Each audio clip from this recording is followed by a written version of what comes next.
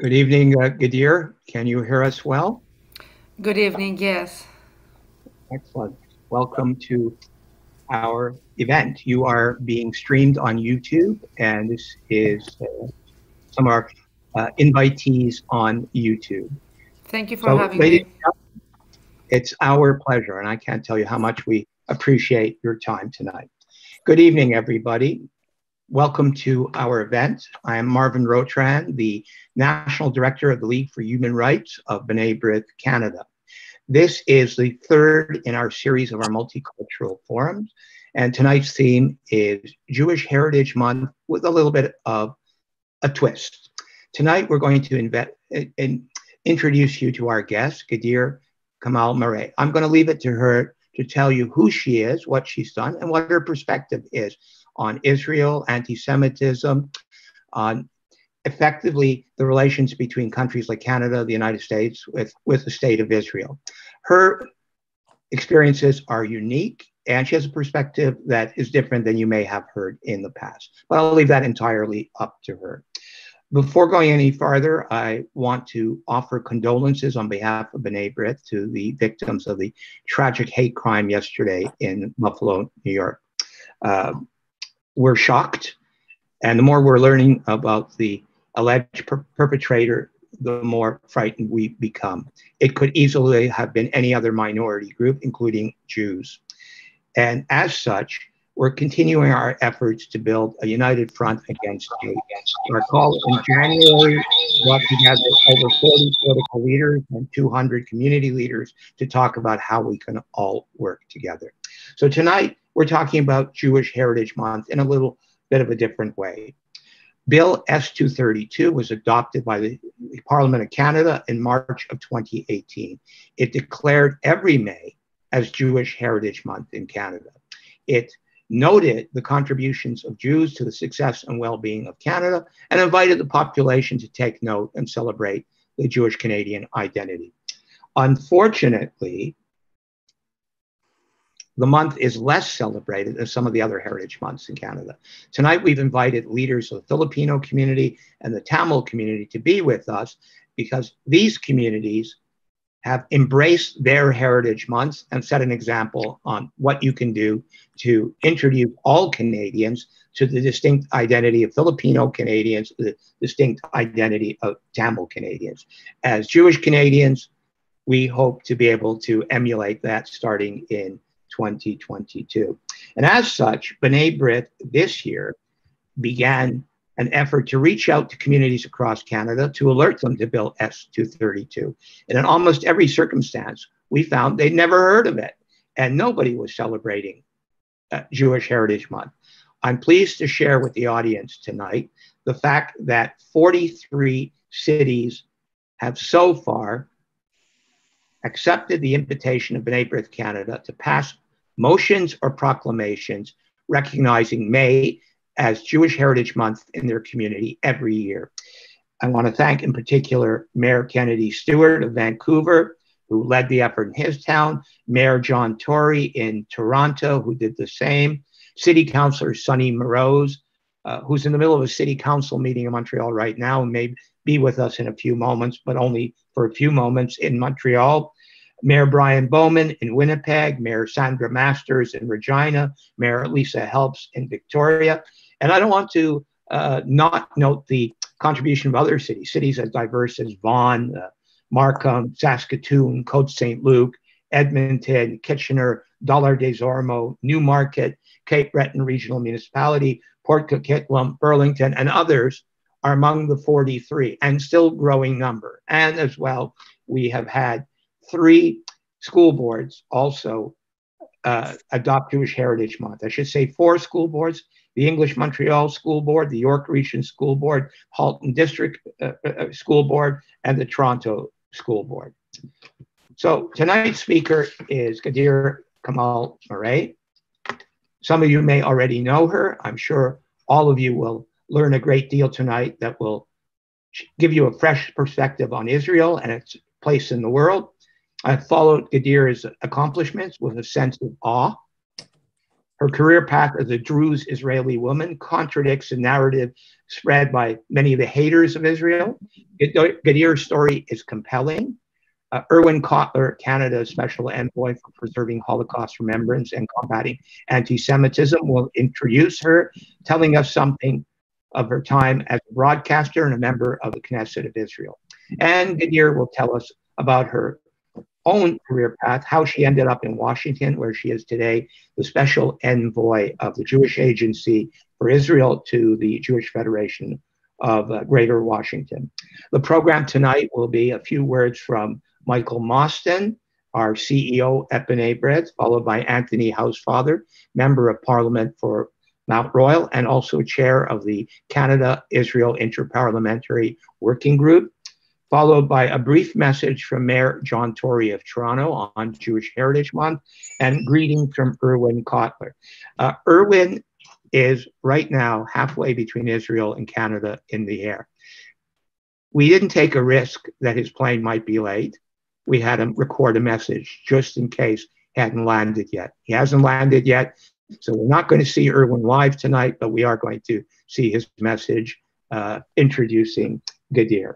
Finally, after that, Gadeer will take will speak for as long as she wants, and there'll be a comment, a question period, and then a brief conclusion. I want to let everyone know that I'm hosting this event from my hotel room in beautiful North Bay, Ontario, where tomorrow Michael Mostyn and I have an event with the mayor of North Bay to, in essence, say this community did it right when it was confronted with anti Semitism. But that you're going to have to watch on your television screens tomorrow night.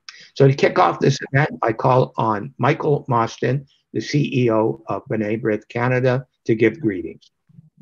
Well, thank you so much, Marvin. Uh, first of all, for the record, we are in separate hotel rooms, actually in separate hotels uh, in North Bay, but uh, very happy to be here uh, with Marvin and looking very much forward to uh, meeting with the mayor of North Bay, as Marvin mentioned tomorrow, as well as with um, members of the Jewish community uh, here in the month of May, which of course is also Jewish Heritage Month. Um, uh, first of all, just wanted to extend greetings on behalf of B'nai B'rith uh, to everyone joining us uh, today, both on Zoom uh, and on YouTube. Um, um, we're very uh, thankful to have all of you here today for what is sure to be an exceptional program with Gadeer. And thank you, Gadeer, for uh, for joining with us. And I'm sure you're going to have um, a lot to say, a lot of uh, interesting points that um, not all of us know about Israel. We we all talk about Israel being this vibrant democracy, the only democracy in the Middle East, uh, but many many people uh, think of it as uh, the Jewish state, which it is. But it is a diverse state um, uh, with diverse views, um, and um, I think nobody better situated than yourself uh, to talk to to this diverse, multicultural uh, Canadian crowd uh, here tonight about the diversity of Israel. We unfortunately did see a record amount of anti Semitism take place uh, in Canada, as documented in the League for Human Rights of B'nai B'rith's annual audit, which we um, revealed um, uh, just a few weeks ago. Anti Zionism is a specific manifestation of anti Semitism um, that we see more and more of, unfortunately, here in Canada. Years ago, about a decade ago or more, we used to talk about this as a phenomenon on Canadian university campuses, where those who identified as Zionists, as lovers of the state of Israel, would often face um, uh, abuse on campus, um, um, most of the time verbal, but sometimes it even went into the physical. And B'nai B'rith was one of the organizations that warned that if we allow this to happen, if we allow this to take root, we will see it jump from the campuses off into mainstream Canadian society. Unfortunately, we did see that in the last month of May, May of last year, um, when during the Gaza uh, Israel conflict, we saw protests across Canada, but we saw a disproportionate amount of violence targeting Jews. Um, simply because they were viewed often by protesters, often at illegal protests, um, as individuals that because they were Jewish, they must uh, agree with opinions their opinions reflect that of the state of Israel. And if you're making overgeneralizations about an individual and you're saying this is who this person is because of how they identify, and of course, most Jews in Canada identify as Zionists, the vast majority of us um, view ourselves as such. Um, nobody should be targeted because of who they are, what they think, what their religion might be, what they look like.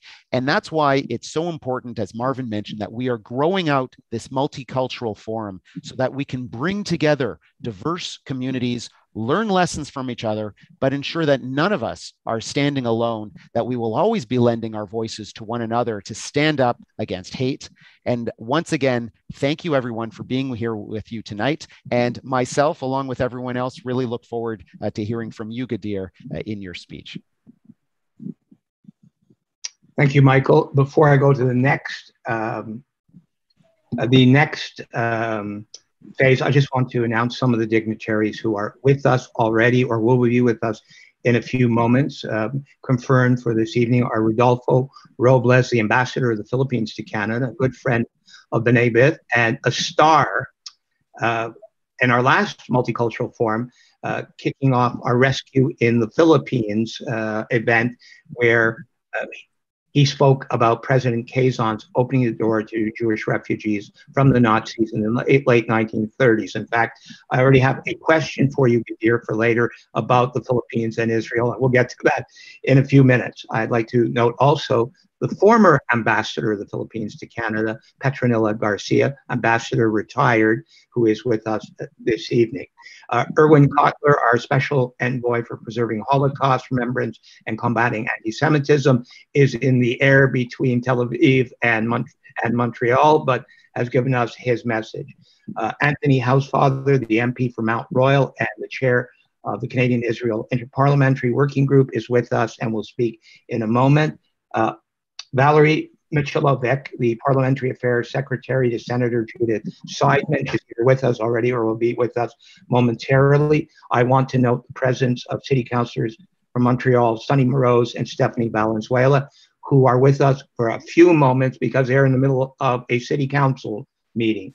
Uh, I want to note the presidents of City Councilor Anastasia Simakopoulos from the City of Dollard des Ormeaux, uh, City Councilor Rose Sicoli from the City of Brantford, uh, City Councillor Michael Van Holst from City of London, School Commissioner Ellie Israel from the English Montreal School Board. I believe still already with us are Councillor Steve Gillespie and Lauren Green from Cape Breton Regional Municipality. And I want to note a few uh, community leaders who are great friends B'nai B'rith, Bashir Hussein, the president of the Alliance of South Asian Communities, uh, and the founder of the Jewish Muslim Dialogue, uh, Philomena Dabia from Filipino Seniors, Gemma Rayburn Burns from Playmas Caribbean Cultural Association, uh, Mr. Perry Belendra from the Tamil Association, Ms. Linda Mazzoni from the Federation of Filipino Canadian Associations, Ms. Julia Guerra from FILGA. And if I missed anyone, my apologies, but I want to say thank you all for being here this evening, and I will turn over the floor to Anthony Housefather, Member of Parliament. Uh, thank you so much, Marvin, and thank you so much, Michael, for inviting me to uh, say a few words. And Gadeer, it is wonderful to make your acquaintance virtually. Um, and I'm so glad that you're representing Israel in the United States. Having strong representation from Israel in North America is absolutely key to confronting the anti-Zionist form of anti-Semitism that we see permeating uh, you know, North America, especially campuses today. So thank you for being there. And thank you for reminding everyone that while Israel is a Jewish state and the historical homeland of the Jewish people, it is also supposed to be a democratic state where everyone enjoys the same rights and freedoms. And sometimes it's imperfect. And sometimes we may not always agree with, with, with bills that Israel passes, such as the nation state law. But overall, Israel is a home for everyone that lives there, regardless of religion, regardless of ethnicity. And we should be proud of that as supporters of Israel in North America. So, as uh, first of all, um, as somebody who put forward Canadian Jewish Heritage Month, and um, I was a seconder to Michael Levitt and Linda Frum, who were the sponsors of the bill. It was a bipartisan bill that went through Parliament in 2017. And I also had the pleasure of being a seconder on Filipino Heritage Month. Um, it is very exciting for me to be celebrating Jewish Heritage Month this month, um, participating in the Great Bagel Challenge that MPs are participating in, where we identify our favorite Bagel store in our riding um, and promote that. Um, but also to uh, to acknowledge the many friends in the Filipino community and the fact we're celebrating Filipino Heritage Month in the month of June. Um, so great to see everybody. Um, and Marvin asked me to say a couple of words about what the Canada Israel Friendship Group that I chair is. So, on both sides of the ocean, in Israel and in Canada, you have a bipartisan group of legislators that forms a friendship group. In Israel, it's formed of members of all of the parties or most of the parties in the Knesset. In Canada, it's formed of all the parties in the House of Commons. Um, and we work together to sponsor each other um, back and forth in order to create economic ties, in order to create ties between parliamentarians, so that we're always talking to each other about issues of concern, so that we're not only dealing with each other when there's a crisis, but developing ties between parliamentarians to be able to speak to each other very, very often and, and, and have that personal relationship. Because it's not only the executive, people often think that it's Prime Minister Bennett and Prime Minister Trudeau and everything is between them. But Parliament has a role, and Parliament has a role to play, whether it's adopting a, a motion condemning BDS, whether it's instructing the government on how to proceed. And we need to have those ties, and we need parliamentarians to take their role in promoting the economic relationship with Israel, but also the social relationship, and also, um, you know, being sure that we make clear to the government we want Israel to be defended at international fora like the United Nations. And so that's the kind of thing that we do. And we had a group of Israeli parliamentarians that came to visit us two weeks ago in Ottawa. We're likely to be going back there to the Knesset in the fall. Um, and when we go back and forth, we meet with ministers, we meet with with with with, high level parliamentarians, um, but we also learn about what unites us. Um, and there's so much that unites Israel and Canada, whether it's common values, whether it's, it's a desire to further economic ties, um, whether it's support of the international world order that is being undermined by Russia's invasion of the Ukraine, um, so many things. Um, and it's a pleasure to be part of bolstering that really important relationship because, as Michael mentioned before, Israel is the strongest democracy in the Middle East. Uh, Israel is certainly the country in the Middle East that Canada has the most ties to and the and the greatest relationship and interconnection with. It's a strong ally um, and I look forward to furthering that relationship. And I look forward forward to hearing all the things Gadeer has to say. Although I have to go back and vote shortly, um, but you know I'll I'll uh, I'll try to listen for as much as I can. So thank you so much for being here. Thank you for having me. Thank you, Anthony. Much appreciate your time. We know you're in session, and we know how hectic the life of a parliamentarian could be. Uh, Gadeer might not know this. I was a city councilor for 39 years at Montreal. I used to do a lot of similar events where we would duck out of the hall, give a speech, and run back in to vote on, on an item. Thank you, uh, Anthony. Uh, I'd like to recognize a few other people who are here who I uh, neglected the first time. Uh, thank you for coming. Aubrey Zeidenberg, who is the chair of B'nai B'rith Special Advisory Committee. Uh, for those who are interested, the SAC will host Mayor John Tory on Thursday night. I urge everyone to take part in that. I'd like to recognize Joe Ortona, the chair of the English Montreal School Board. I thank you for coming, Joe. And from the Yukon, which is about as far as you can go in Canada and still be in the country, I want to welcome Rick Karp, who's with the Jewish Cultural Society of the Yukon. Yes, there's a Jewish population in the Yukon as well.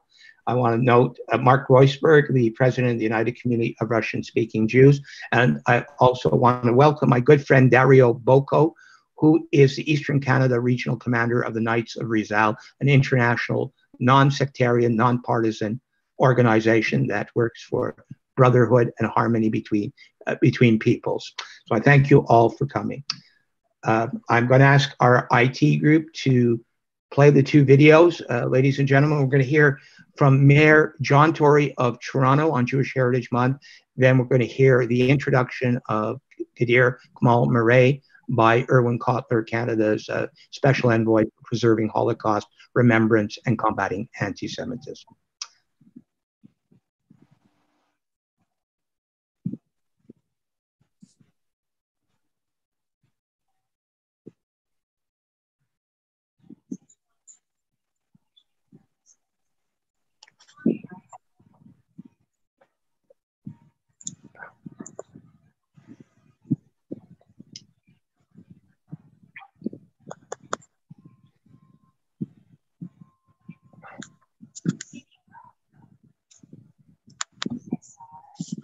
Eric.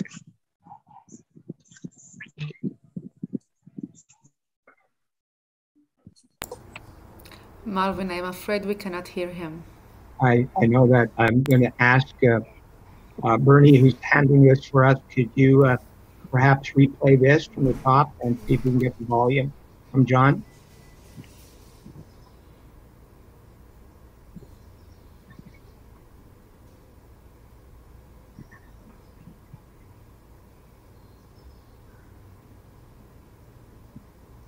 we're still having the same issue.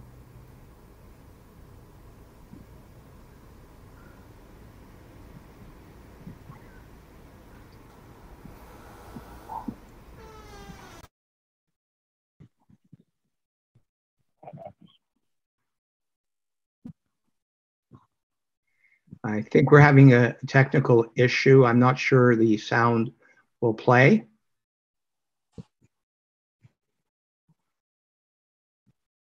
So uh, Bernie, I think we're gonna have to go to the next uh, video. Ladies and gentlemen, I, I think uh, Bernie will take some screenshots. I'll know who's here. We'll send you the message from uh, Tory by email um, after the meeting or tomorrow. I just hope John isn't going to be too upset.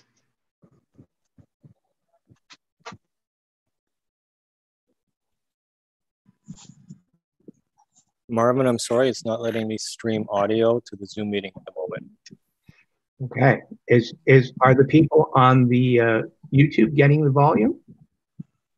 No, they're not. It's not coming through in the Zoom call. All right. Well, ladies and gentlemen, best laid intentions sometimes don't work out. Let me just put it this way. John had some wonderful and very moving words about Jewish heritage. And Irwin really had a wonderful speech um, introducing Gadeer. I think it would make Gadeer blush. But uh, that being said, she's just going to have to take my word for it and wait for tomorrow, and I'll email her win speech as well. Bernie, am I correct in assuming that uh, neither?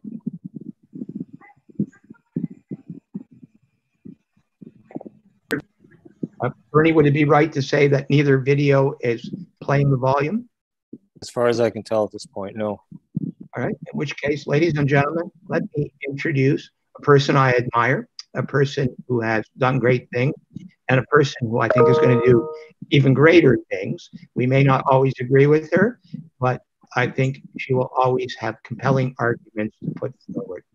I invite Gadir Kamal Murray to address us and take as long as you want. There's no time limit.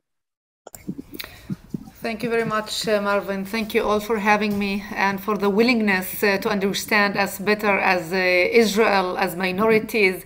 Uh, can I ask uh, Jill, can you just uh, mute because we mute yourself because we can hear you?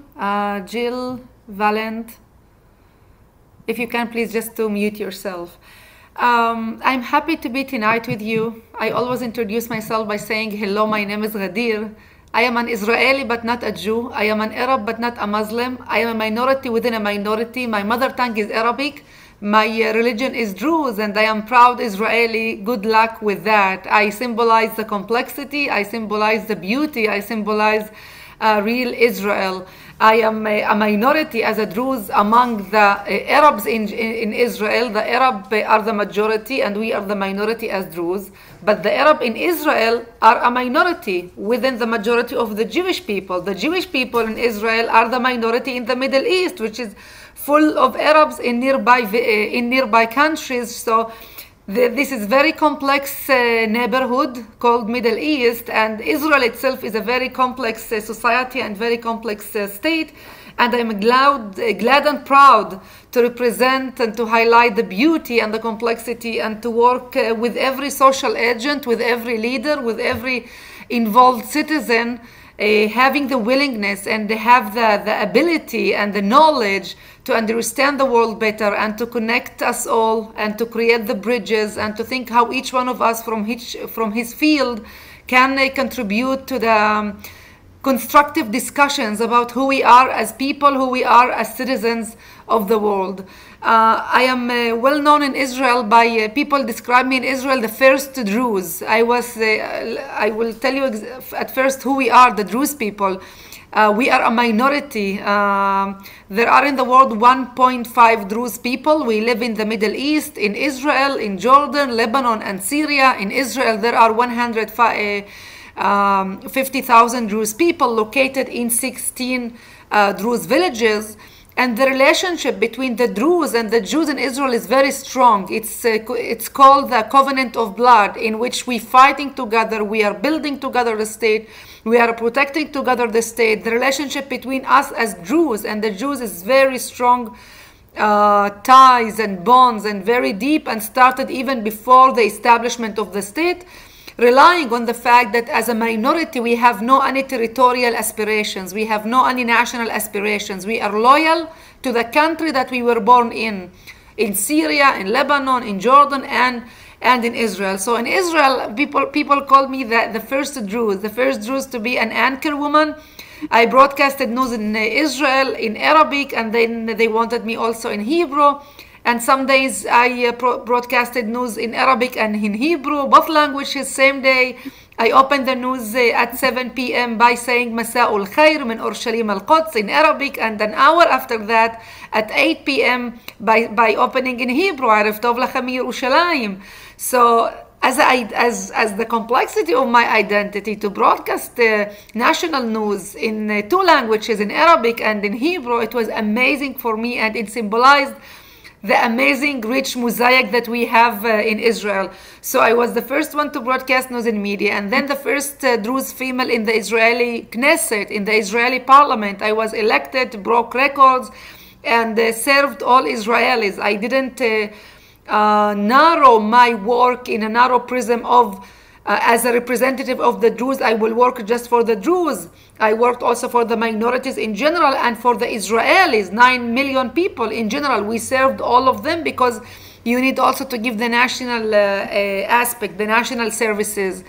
And uh, today I am the first, they call the non Jewish, I call Arab or Druze, senior envoy of the Jewish Agency for Israel. Uh, when I decided to take time out uh, from politics, I am sure you followed, we had the crazy days in the Israeli political arena. We had four elections, no budget, no uh, real functioning government. We succeeded last year to form a new government to stabilize the system, but you know, it seems like it's very unstable yet. I decided to took time out. I uh, had an offer to join JAFI, the Jewish Agency for Israel, and to come here to DC as a senior envoy to talk about exactly who we are, our story, our authentic, real story as a woman, as a periphery, as a minority, as the real Israel. So we built a position in which we work with federations in, in North America and with Hillel International, universities, campuses, which is very, very challenging arena uh, those days. So this is a position in which I am located physically in DC, but we give a national coverage in North America, working with organizations, with men, women, with the lay leaders, with the students, in order to shape and reshape public opinion about who we are. And uh, when we say who we are, it's amazing to see that sometimes people less understand the uniqueness of Israel. Uh, Israel today, although the domestic issues, the many domestic issues and challenges that we have, by the way, like any other country, uh, um, Anthony talked about imperfection. Yeah, imperfection is one of the characteristics when we talk about managing uh, countries or leading countries. There is no country in the world, not in the modern era and not in the past. Uh, as Israel, we are very sophisticated, we are very complicated, we have our own challenges, but get, guess what? We still a vibrant democracy. Look what happened last year. We succeeded to form a new government. We succeed. We had a smooth transition of power after two years, after four elections, after no budget, in a tool democratic, in a democratic tool, in an election, democratic election, real election. We had no troops on ground. We saw what happened here uh, on the 6th of January in the superpower of the world, in the democracy of the world.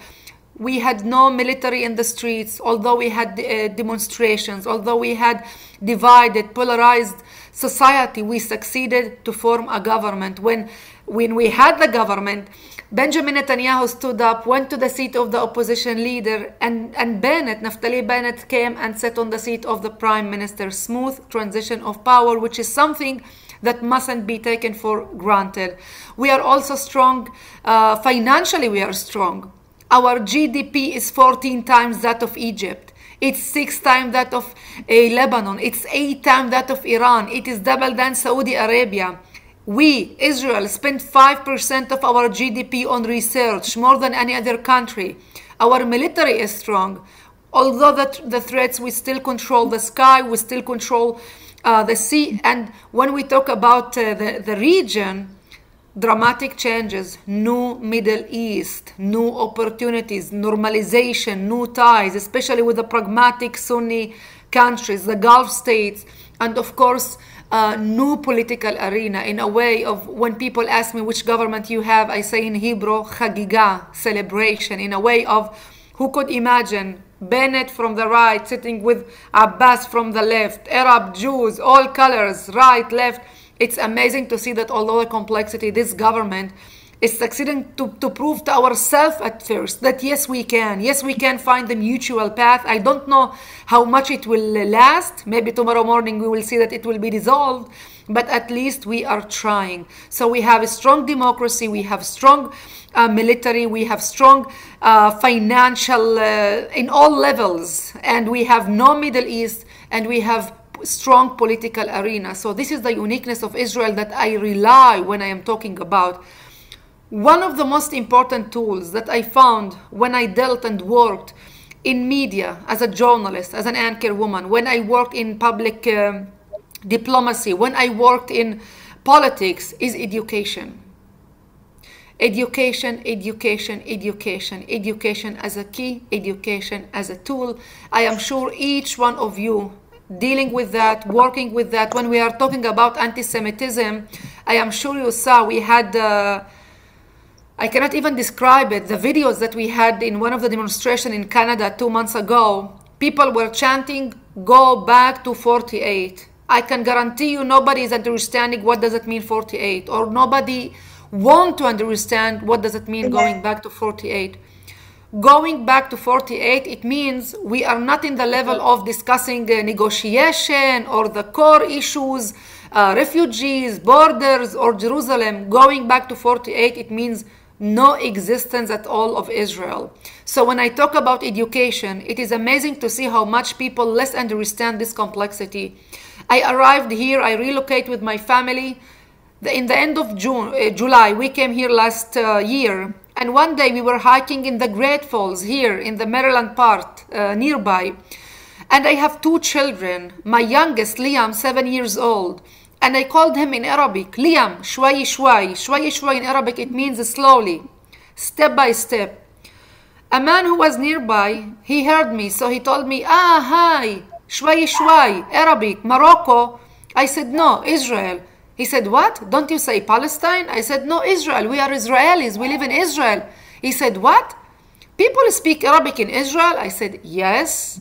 21% of the population, more than 2 million Israelis are Arabs, speak Arabic. He said, What? I looked at my husband and I smiled. I told him, Do you know what? That is why we need to be here. To, to explain sometimes basic details, sometimes the, the, the must, the details that we think or, or we assume that everybody knows, it is amazing to see how much people don't know, but on the other hand, they are thirsty to know. One woman, after I finished the lecture, after before I started the lecture, uh, came to me and told me, and she was a woman who studied in Columbia University in New York.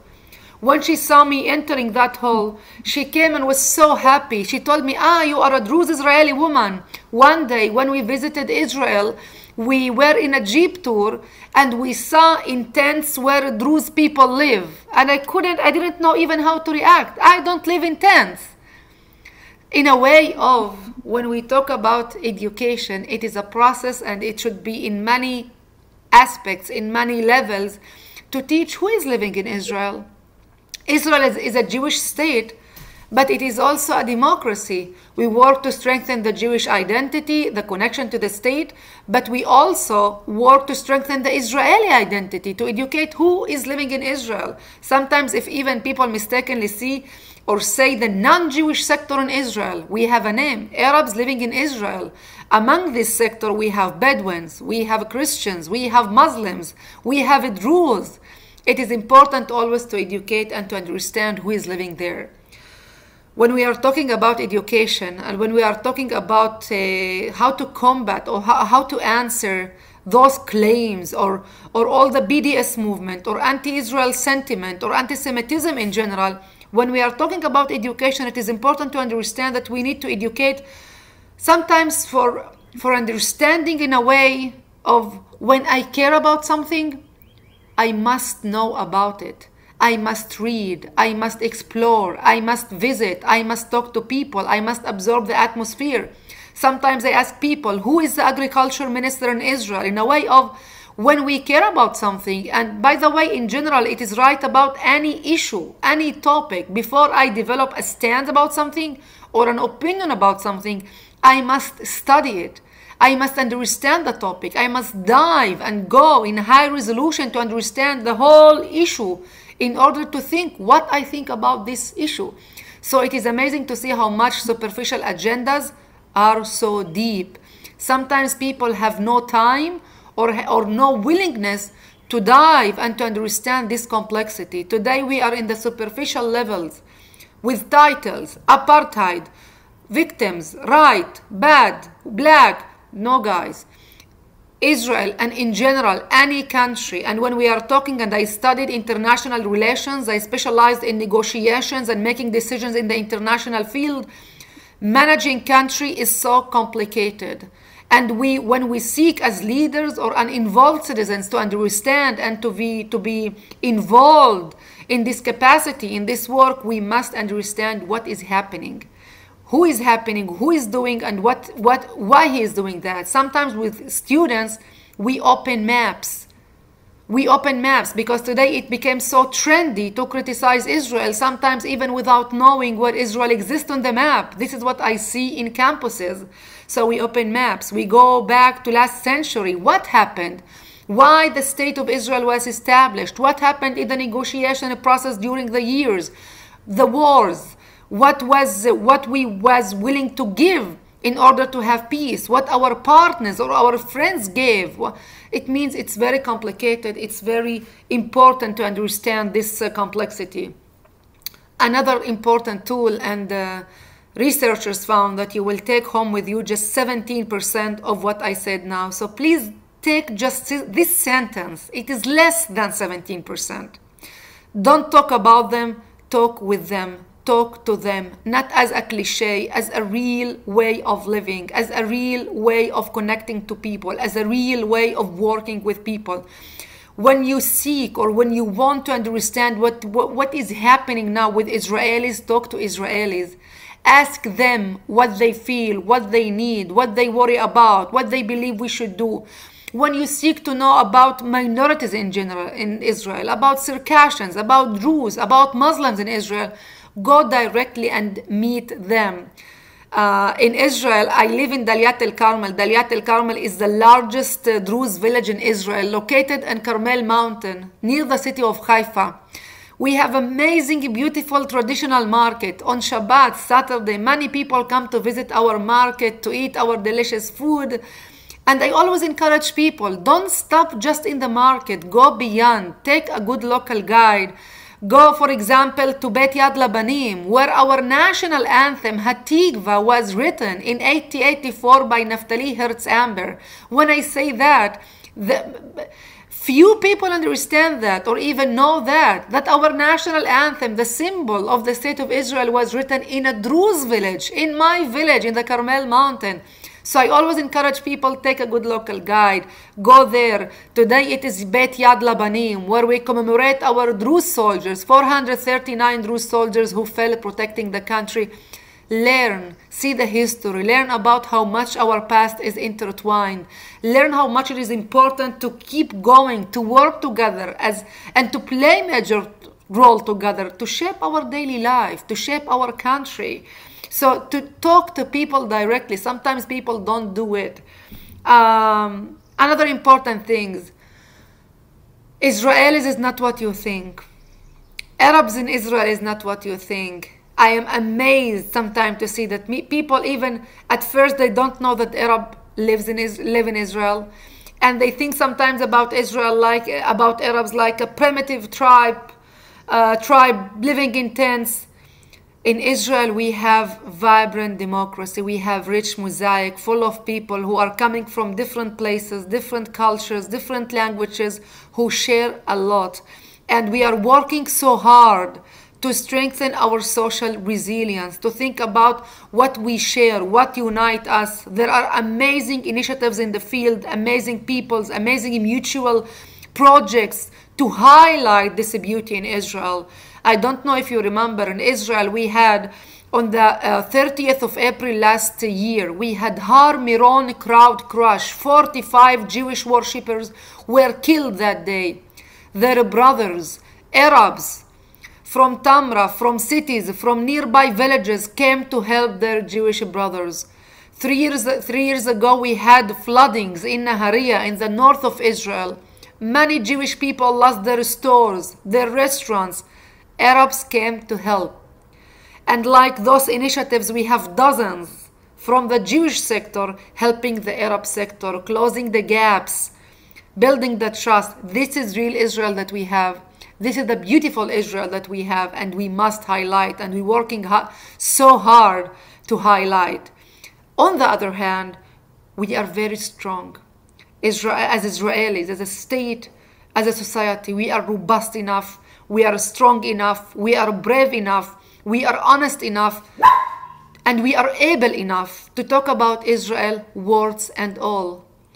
We say we do mistakes. We say we did mistakes. We say that we are not perfect. We and by the way the ability of israel to learn from its own mistakes it's incredible i always say i am not coming to provide the kim jong-un advocacy to tell you love us we are perfect we are pink we are gold no you will not have it in israel when i lecture when i talk to students or to organizations there is no special guards uh, watching, recording, checking what I am talking. We have free liberal discussions about who we are.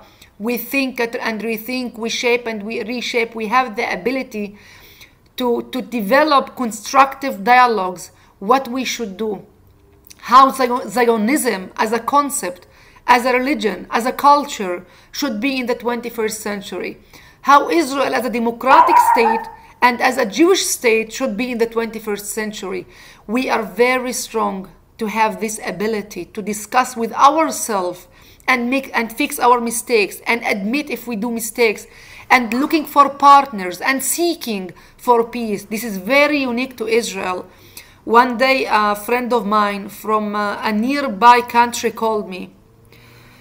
Couple of years ago, he told me, Gadeer, are you crazy? You are the Israelis you sent physically your prime minister to court to ask him how much the cigars how, how much the cigars that he got as a gift from his friend i told him listen to me my dear friend this is the strength of israel. We check ourselves. We have no corrupted regimes. The fact that we had president in jail the fact that we had a prime minister in jail it proves to us, to us all that nobody is above the law. We check ourselves. Because democracy at, at the end of the day is not just the rule of the of the people. It is the rule of the law. Unlike many corrupted regimes unlike dictatorships that we have no israel is very strong very strong democracy very strong society and we have the ability although the complexity to be a jewish state and to be a democracy to promote rights of all minorities of all people living there. Although there is no absolute equality yes we are working hard. We see even the budgets. For example last budgets they doubled the budget for arab sector. Instead of 15 billion now it is 30 billion we see we work hard sometimes it, come in a it comes in a delay of couple of years but we are working so hard to strengthen our social resilience social activism another tool my father told me when i was a child If you have something to say, say it. If you believe something should be changed, go and change it. Even as a child, I remember almost on every Shabbat, on every Saturday, we hosted a Jewish family in our home. My father was a contractor, and in my village, many people visited the traditional uh, market in our village. I didn't imagine, or I didn't think, or understood then how much it shaped my personality as a child. Sitting with Israelis, speaking about social issues, about politics, how much it shaped my personality in a way that we were raised that you are not a minority in the, in the Jewish state, you are an integral part and you must be involved. Even as a child, I was in uh, delegations, in student, in student council, in all the social involvement. My mother remember me, instead of playing as a child, I was sitting in front of a mirror and broadcasting news and talking to people and interview people when I was in the age of uh, 12, in the sixth grade, I called the manager of a local TV station and I told him, Hi, my name is Gadeer and I want to host my own TV program. And he laughed because he told me, You're a child. Let's start by volunteering. And this is what I did. And then I had my own TV program in my village. And instead of writing homework, I started to film homework. I am telling you that because I truly believe in people.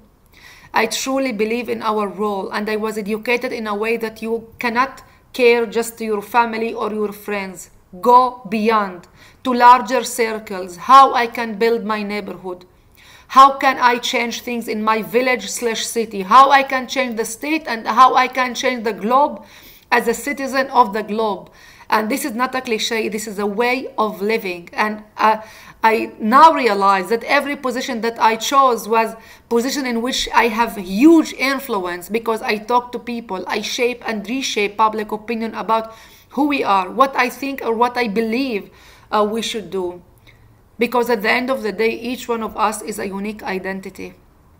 Each one of us is a social agent, and it is so important to share our stories to the world. Look at me a Druze Israeli woman living in, in DC, sent by the Jewish Agency of Israel to talk about beauty and to talk about complexity and to connect people and organizations in North America and Israel. And I am sure that each one of you has his own unique, authentic story to share with the world. So please do that. I truly believe in our role. I truly believe that at the end of the day, it doesn't matter where who you are, it doesn't matter where do you live. At the end of the day, you have your role you have your role to change any in any topic you believe that you can change. This is what i do and i am proud to be part of this circle. Even now with, with zoom it's not in person meeting but at the end of the day we have now 64 people. We are talking to each other. We are learning from each other. And i don't know how we can cooperate. Maybe one day we can have this win-win connection in which we can educate and learn through each other from each other and promote amazing ideas, amazing mutual programs uh, together.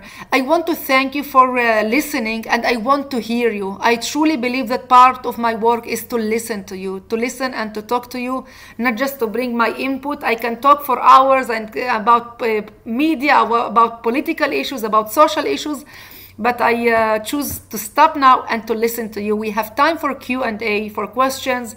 So be free to ask anything that you believe or would like to ask me. Thank you, uh, Gadeer. Before I open it up for uh, a couple of comments or a couple of questions, I do want to say I could never address an audience in my third language with as much passion and intelligence no. as you just did. I've already had a couple of texts and messages. People are saying how impressed your ability just to articulate your deeply held views that uh, you know are so meaningful to so many of the people um, on this call. I also want to mention a number of other people who have joined the call who um, were a bit late but need to be recognized, and that is Councillor Morris Vesely of Dollard des Ormeaux. Uh, Morris is also a member of the National Board of B'nai B'rith Canada. Councillor Ryan Brownstein, uh, school trustee Amy Collard from Halton uh, Regional District Regional School Board, uh, Sharon Nelson from the Jamaica Association, Sudha Halder representing Suhail Mia, the Bangladesh Sociocultural Forum. Uh, I also want to note that I did get a message from Norman Simon. He was supposed to be on the Zoom call. He's watching you on YouTube, and the people on YouTube won't be able to ask a, a question, but he wanted you to know that he found you extremely dynamic. He is the chair of Canadians for Coexistence, and they do the same work that you do with people of different faiths to bring together dialogue and understanding. I also want to recognize Romeo Remigio of the Filipino Association Montreal and Suburbs, who's with us also this night, this evening, along with Dante Tabamo, who uh, is uh, the uh, vice president uh, of the uh, organization. Um, the first question is reserved for a friend of B'nai B'rith who had a death in the family and could not be here. I want to note the friendship of Ramon Vicente, who has been at all our events over the past year, the chair of the Filipino Family Services, and he wanted to address two very short questions to you, uh, One of which is he wanted to know whether Israelis are aware of the special relationship between the Philippines and Israel, particularly President Quezon's open door policy that led to the admission of 1,300 Jews fleeing the Nazis when other countries closed their door. Uh, Ramon was one of our speakers, along with Ambassador Ramon, uh, uh, uh Ambassador Rodrigo Robles, for our event Rescue in the Philippines in April, and he wants to know, in essence, whether uh, uh, Israelis are aware that the Philippines voted for the creation of the state of Israel in the United Nations vote of 1947, and that the special relationship has uh, continued since then. That's thank you for the, thank you for the question. If the question if if Israelis are aware of that, I would say yes. Is it enough? I would say no. And I will explain why not enough. Because Israel is very, as we said, very, very complicated state. I worked in media, I covered news. Uh, you should come and see the news section, how we work in media in Israel. In the coverage of 24 7, you have news in Israel 24 7. I'm sure you, you are following what is happening in recent days, recent uh, two months in Israel, the terror wave in Israel. In Israel, you cannot rest. Always there are news, always there are domestic issues. Uh, the, the militaristic or the, the, the um, not the social problem or, or, now we have also the political crisis again. Maybe we are going to fifth election. I don't know if, you know I, I quit after the fourth. I thought that we finished without. Now we have the fifth election and maybe the sixth election because by by polls there is no any uh, neither one of the blocks can can form a new government in Israel. So we have very complex uh, complexity in the political arena in recent years in Israel unstable political arena. Uh, the terror wave recent months and in general everything related to terror and every everything related to security or militarism is very strong in Israel usually people talk about those two issues. We are a garrison state in a way of security, military or militarism or so or security issues controlling the agendas in the news all days during weekend and during weekdays so yes people are aware of that people especially uh, working with the with the public uh, diplomatic issues uh, political issues they know the huge the important contribution to the Philippines and to Philippine to the people and to the leaders in general. But I'm I'm afraid that the people less are less aware of that. Uh, maybe you need to put more pressure to concentrate more work uh, to develop and to promote uh, working with media and both public diplomacy to highlight those issues. But in Israel, it is very hard to promote uh, external or international issues that are that are not related directly to security or terror. It's controlling the agenda in media 24/7. I hear you. Ramon's second question was also repeated to me by a couple of other people who could not be here this evening. They're aware of the Abraham Accords, which many people see as wildly successful, having gone beyond any hope. Uh, the agreements with Bahrain, uh, with the United Arab Emirates in particular have led to an explosion of trade and tourism and in sectorial agreements. Uh, Ramon's question is Um, is there a possibility of extending this to other neighboring states in the Middle East and North Africa? Um, and is any work actually going on in that regard right now? Uh, last Thursday, I hosted the event, the official event of the Israeli embassy in uh, in the U.S. here in D.C. in three languages. I opened by greeting the Arab speakers, the many um, ambassadors and officials and diplo- diplomats, Arabs diplomats, who came to celebrate with us this year in the Day of Independence of Yom Ha'atzmaut. And believe me, it's wow.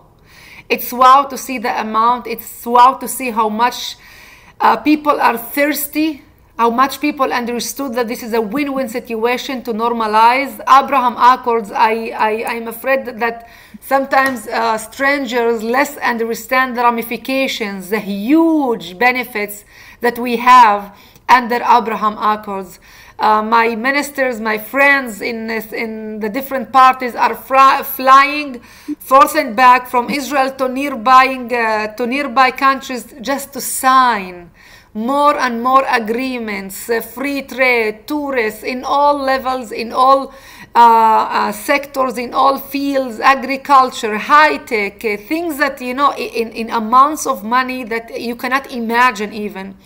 So the new Middle East is, is, is a real game changer. Uh, step Two, now the talk is about Saudi Arabia to bring Saudi Arabia to join Abraham Accord, to, to call it Abraham Accord 2, uh, Abraham Accords 2.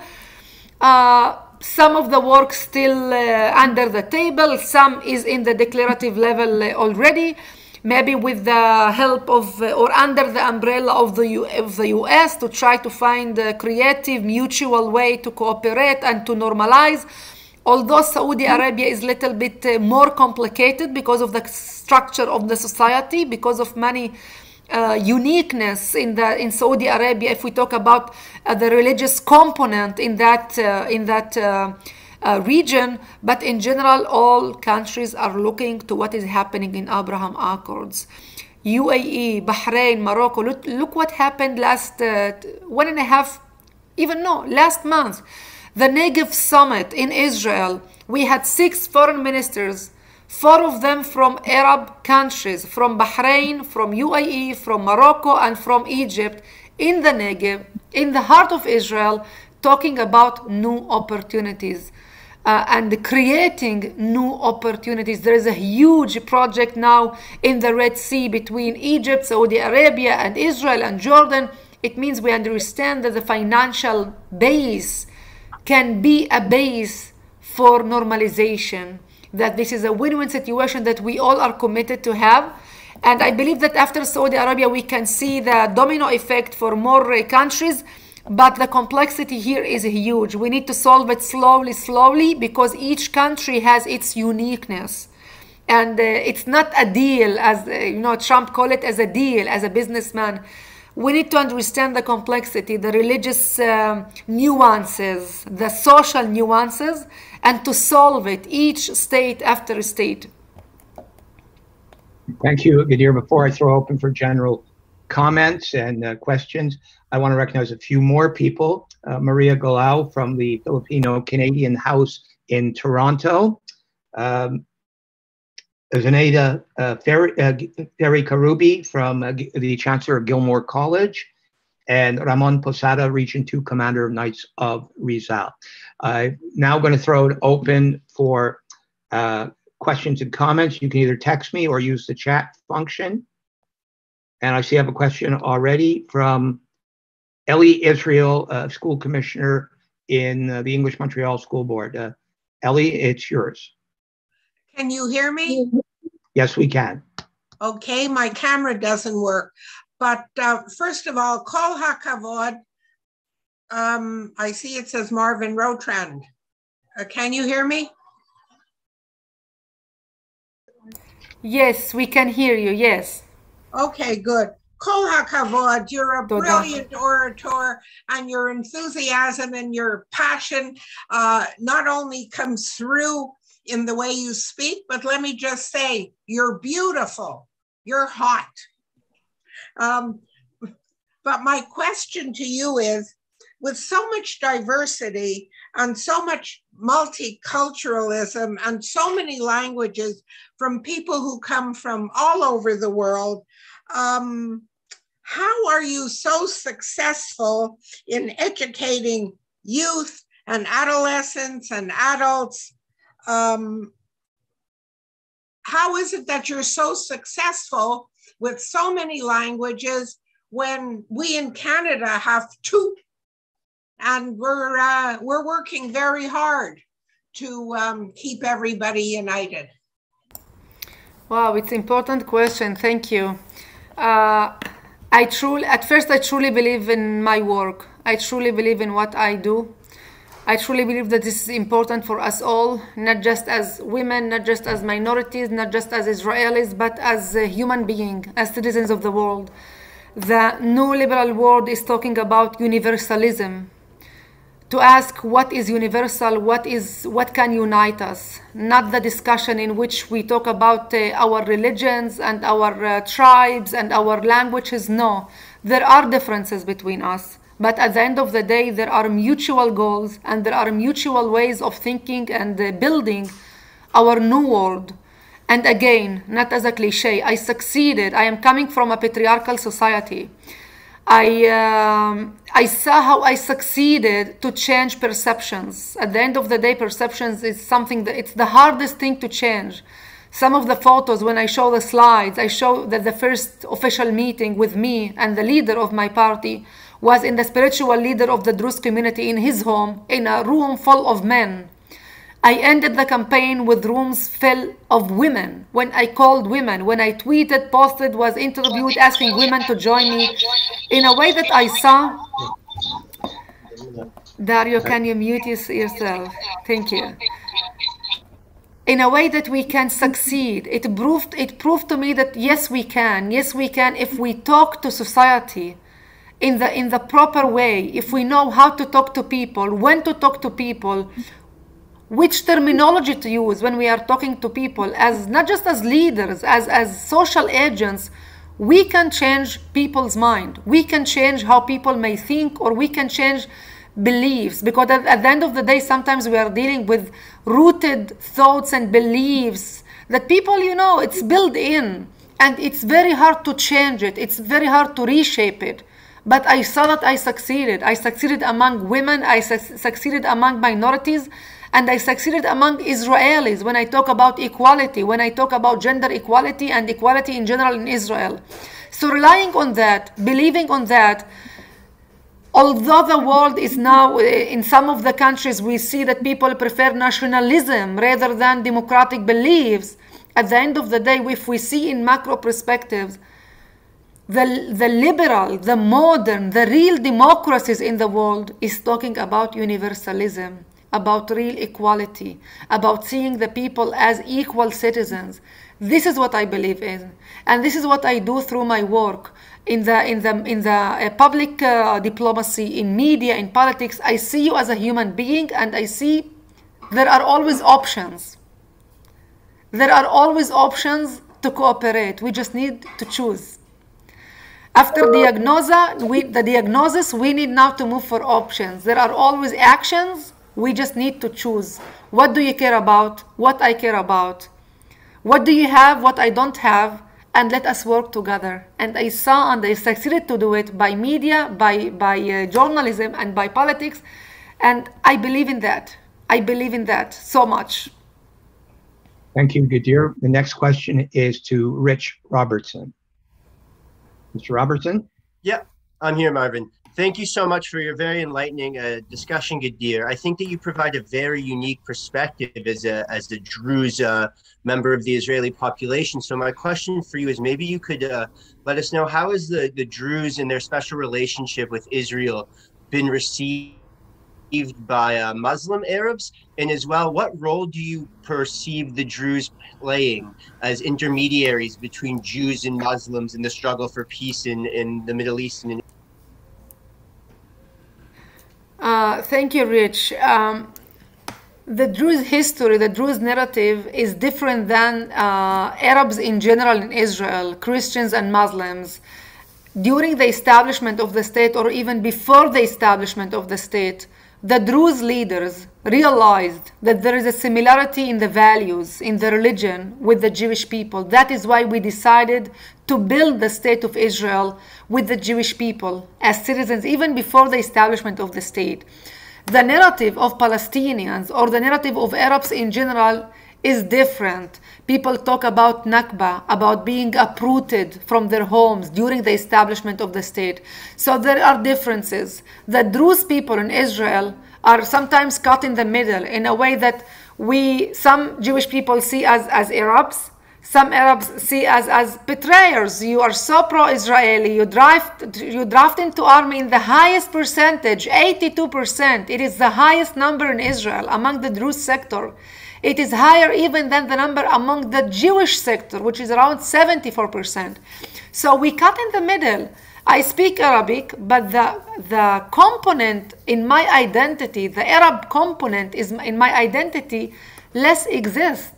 I even realized in DC how much I am Israeli. When I make friends, I look for Israelis. I go to Israeli store. I eat Israeli food. I listen to Israeli music.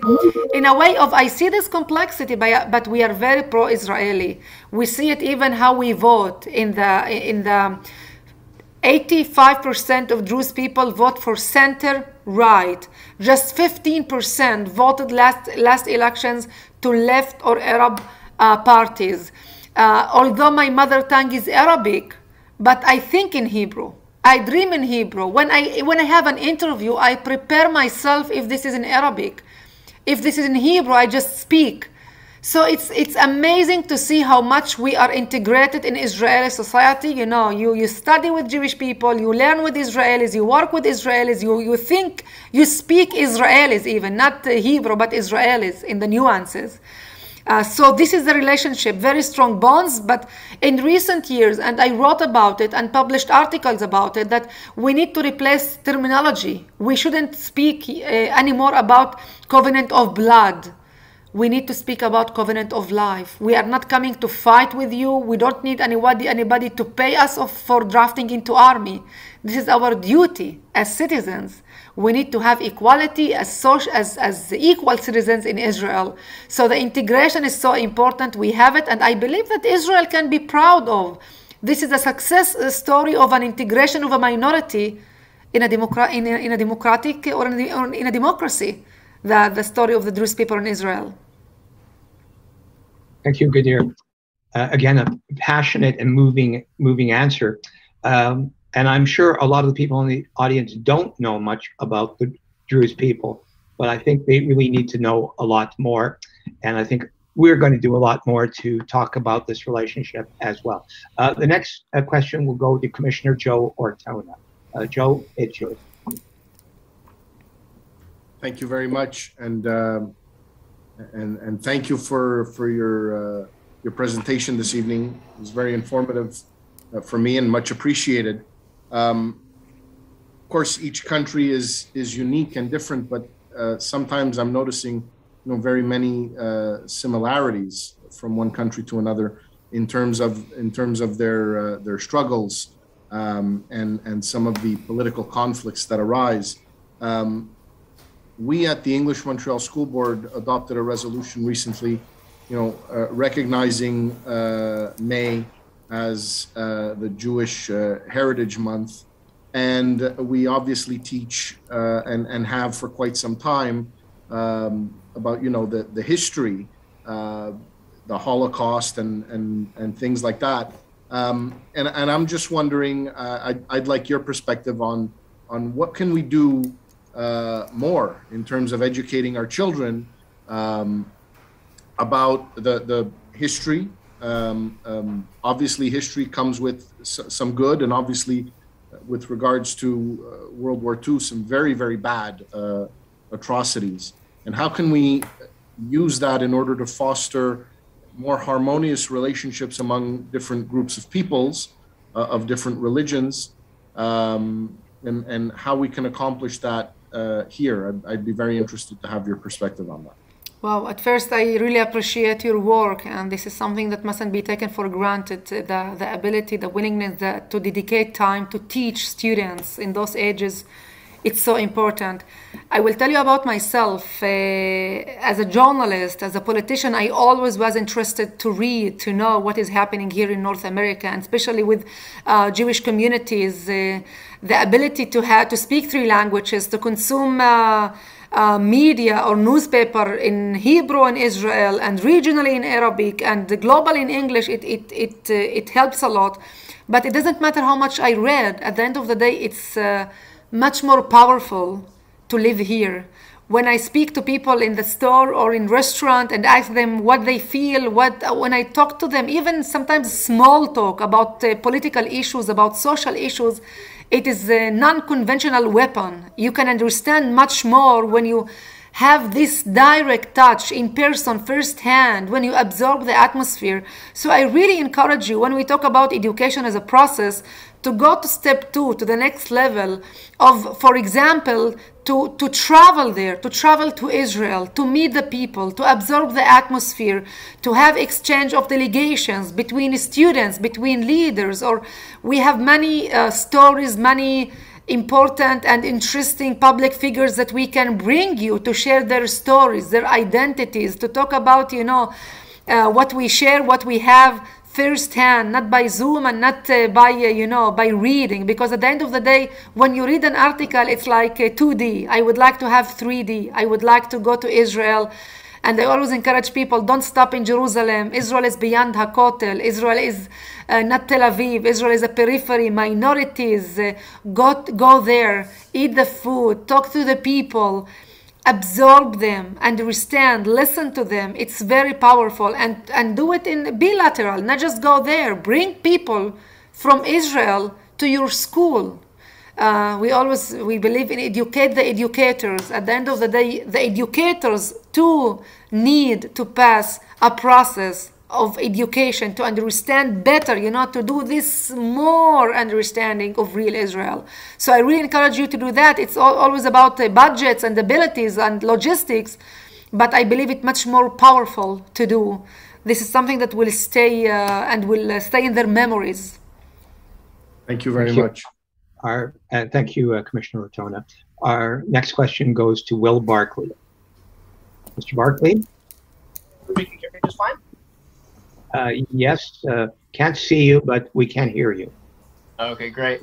Uh, so I just want to start by saying uh, thank you, and I agree with you 100%. It's super important to really talk to people and to kind of leave them with questions instead of kind of forcing answers down their throats. Uh, but my question is that, in my experience, there seems to be kind of a disjunct between the Palestinians who are located in Palestine and their supporters here in North America and around the world. And the Palestinians themselves are very much kind of anti-PLO, Fatah, Hamas, these terrorist organizations but the supporters here have really romanticized the conflict to a great degree, and so they support the, the, the horrid organizations. How, how, do you think we resolve this disjunct and get everyone uh, on the same page, so to speak, and fighting the real enemy? First of all, unfortunately, we cannot have all of us or all of the people on the same page. We need to choose our battles. At the end of the day, our time is limited, our energy is limited, and time is the most expensive resource in the modern era. So I need to choose my battles. Some sectors I even don't go and don't try. Some people are fed by fundamentalistic radical beliefs that it doesn't matter how much I try with with with the knowledge with the numbers with the facts with the real reality with the with the stories. It doesn't matter how hard i work i will not try to convince them that we have the right to exist even. So you need to choose your battles. In some sectors just leave it.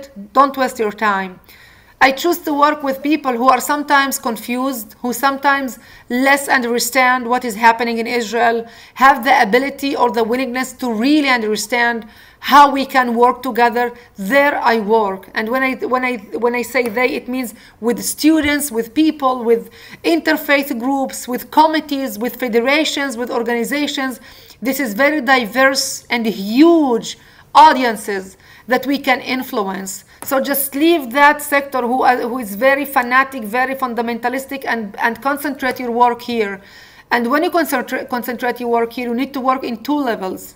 First level is storytelling. At the end of the day, our history is built on stories.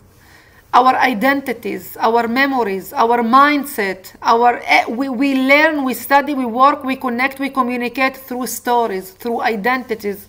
So to tell the story of you as well, who you are, where where do you live, what do you believe in, and also the next the next level is knowledge to provide the facts. Sometimes we go back to 37, 1937, Peel. Israelis said yes, Palestinians said no. 47, 1947, the, part, the UN partition law, uh, the UN partition plan, do you remember that? They, they, uh, the plan was to divide the country. What Israel said, yes. Palestinian, what they said, no. Go back to the, continue to the whole negotiation process. Even, even till 2000, Barak, Ehud Barak was willing to return the whole Gaza Strip, 96% of the West Bank, compensation of 30 billion dollars to Palestinians. What Arafat said? No. To continue Condoleezza Rice, it means we have the storytelling, but we have also the knowledge, the data, the info. And in modern era, the person who is owning the, the data is, is, is the part, is the one who is going to win. So tell your story and be provided with a huge amount of data. Do you want to challenge me? Go for it. I want to challenge you. Are you talking about Israel is bad, Israel is wrong? Listen to me. We did mistakes. We are not perfect. But we know, and we know that as long the conflict is continue to happen, is, is wrong for all parts. But it's not just our fault. Uh, you know, Mahmoud Abbas, as Palestinian leader, is sitting there, is, let's say, corrupted. He's, he's not the democratic leader. He is not enjoying the trust of the Palestinians. So it's very complicated. Do you want to talk about it? This is what I talk to people. Please challenge me. Let me tell your story and let me share with you my knowledge. So share the, your knowledge and share your story and choose your battles.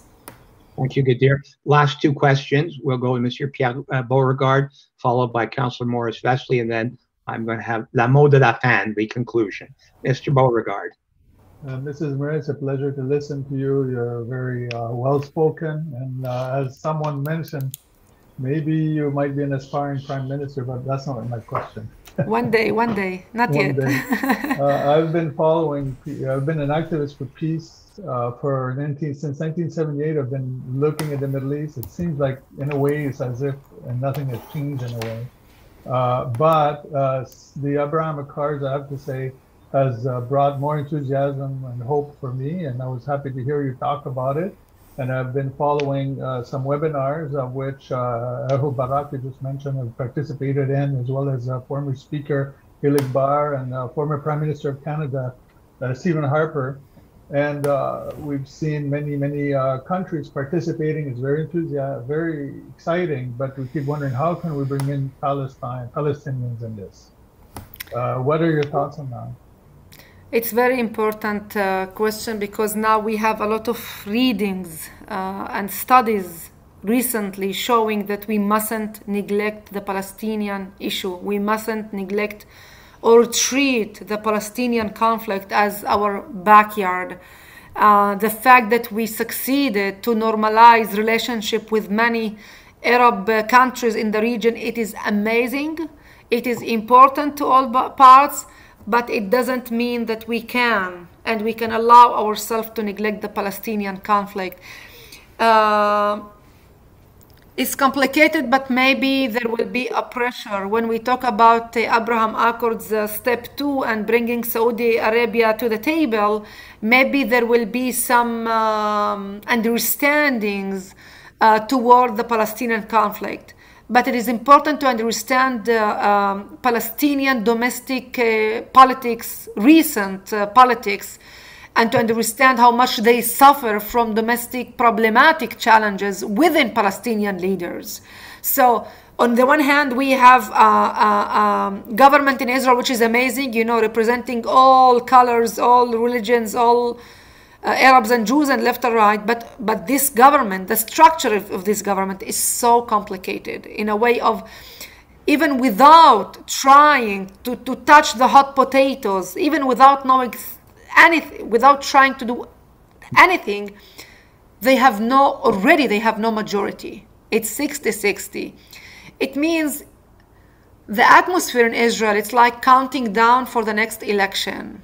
And the next election, as I said, as I mentioned, in three polls, we see that no one of the blocs will have the ability to form a new government. It's 56, 57, 59, 58. It's very complicated. Israelis are going to the right, and I cannot see any any chance in, in, in the in the short future of real, deep, honest, direct negotiation, unfortunately. Uh, Palestinian Palestinians are very complicated too. Maybe with under the umbrella the umbrella of external forces of uh, other players of Egypt, Saudi Arabia, with some of the understanding, we will succeed to do something. But I totally agree with you. We mustn't neglect it. We mustn't treat it as it was our uh, backyard because uh, there are a lot of warnings that it maybe it will there will will will see explosion in the next future in that uh, in that place. Thank you, Pierre. Uh, uh, last question will go to Morris Vesely. Uh, Morris, you're muted. Please unmute. Sorry, sorry. Um, you speak wonderfully. Um, I'm very impressed with um, your knowledge of, of uh, subjects and the way you're speaking to us, the enthusiasm. It's a beautiful, wonderful thing to see.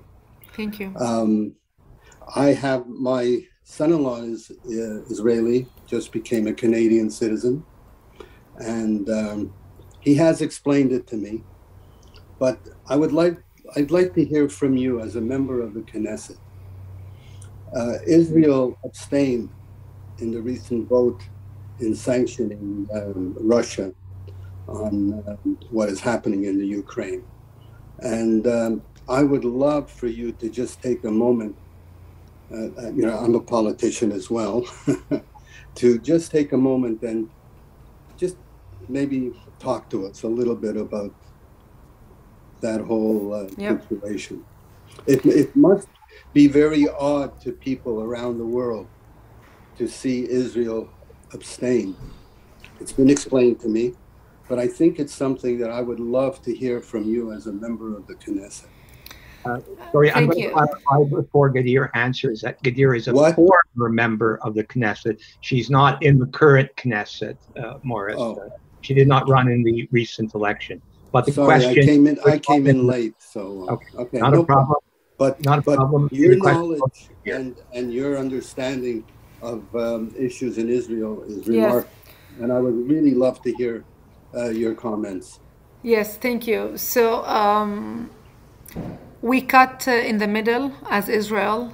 On the one hand, we understand that as a democracy and as a Jewish state and as uh, as a humanitarian uh, and uh, moral country as and as Jewish people who experienced what they experienced just last uh, half of, the, of a century, we must be there to help our brothers and our sisters in Ukraine.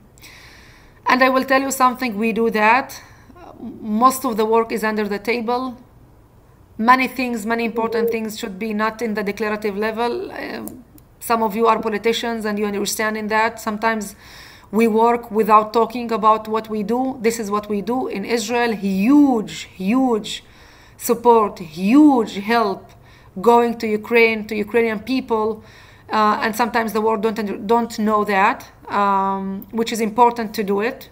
And this is our commitment and this is our duty to any human being uh, who, who passed this crisis. On the other hand, we are very, we must be very careful. It's very, very sensitive issues because uh, the real leader in Syria, our, our backyard, is not uh, Bashar al-Assad, is Putin.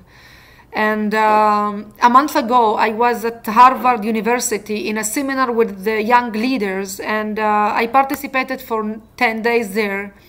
At the end, Mike Herzog, our ambassador, was there in a panel and one of the students uh, just uh, stood up and asked him why it is so important for Israel to keep, to maintain the security measures that sometimes restrict uh, Palestinians. And during her questions, we started receiving the push from the, our smartphones about the terror attack that we had in Tel Aviv in the heart of Israel. And we said this is the reason. Sometimes people don't understand what is happening in Israel. Security measures. So Syria is very. In Syria, as you know, we have uh, multiple player, players. Uh, sometimes uh, totally different interests. Now Iranian is going there with the Russians, with Syrians, with many players there. So we must treat it in a very, very sensitive way. We already saw what Putin can do, what is he capable for, and we must be very careful because at the end of the day, there is just one Jewish state in the world, one Israel, which is very tiny, very sensitive, not surrounded by real, deep, trusted friends. So we do, believe me, we do what we can do, sometimes without talking about it, but we also we are very clever, clever, and I believe that the government now is succeeding to handle this crisis in a clever way. But never say never. I, I cannot predict how this war will uh, continue, how it will be developed. But meanwhile, I believe Israel can maintain its interests and help in a clever way, in a creative ways, I would say, uh, the people in Ukraine. Thank you, Gadeer. Uh, before I close off this evening, a couple of remarks. First of all, urge the audience to take note of the chat from Perry Belendra about uh, May 18th, Mullivaikkal, the Tamil Genocide Day, and the uh, growing relationship the Tamil communities had with the Jewish community in Canada and the dialogue that uh, the communities have engaged in this la- last year. Second of all, some of the themes you've just raised in the last two questions uh, have come up in Parliament, actually. There was a speech by Senator Leo Housakos on the 2nd of March. Uh, and it's something that B'nai B'rith hears a lot as well. That one of the frustrations people have is they don't see a legitimate Palestinian voice as a partner for peace. Uh, people are saying between the corrupt Palestinian Authority and the terrorist group Hamas, there is no one who actually speaks for the Palestinians, and they need to be able to elect legitimate voices. The current situation doesn't allow for that to happen. And it's one of the impediments that while we're seeing progress with neighboring states, uh, the ability to dialogue with an honest partner just doesn't seem to exist. As well, anyone who does speak up seems to be putting themselves in jeopardy. Recently, newspapers in Canada carried uh, stories about Rami Aman, a, a blogger, a Zoom, uh, someone who hosts meetings on Zoom in Gaza, uh, who was arrested for opening up dialogue with Israelis, not government to government, but people to people to find common ground. He ended up being arrested and shut down. So people are saying this is very frustrating. It's the same theme that you have.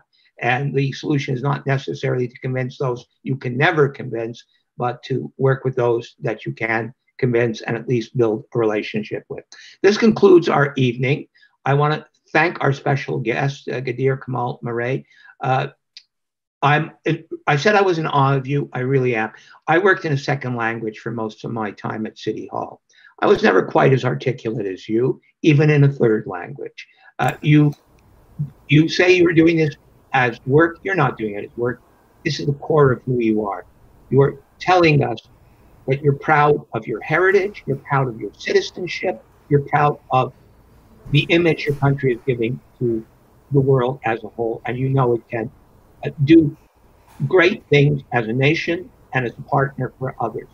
We too share the same values. You will have noted that tonight our audience comes from the four corners of Canada and have many people of different different ethnicities and races. And that is because we have been building slowly and surely a dialogue called United Against Hate. We have things in common and we will support each other. As B'nai B'rith fights anti-Semitism, we also fight anti-Asian racism. We work with Black community, other minorities, and they work with us. And when it comes to supporting Israel, we're strong voices because our community is proud of what Israel has done as the nation state. And our friends are as well. And we work with them to foster knowledge in the Jewish community of what their communities have achieved here in Canada and back at home. Ladies and gentlemen, I thank all of you for having been with us this evening. This concludes our multicultural forum. Gadeer, you'll hear from me in the next couple of days.